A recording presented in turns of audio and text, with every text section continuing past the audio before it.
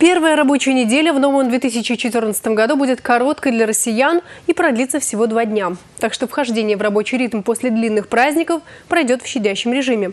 По данным Всероссийского центра исследования общественного мнения, в конце 2013-го большинство россиян намеревались встречать Новый год дома в кругу семьи. Чебоксарцы, судя по нашему опросу, так и сделали.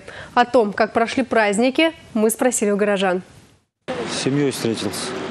Просто не отсюда сам. Дома проводили. Как обычно, стол с мужем, с детьми. В общем-то, нормально, хорошо. А на столе что было, расскажите? Ну, как всегда, шампанское это обязательно, фрукты, ну и легкие такие салатики. Мяса не было. Пост, батюшка, пост.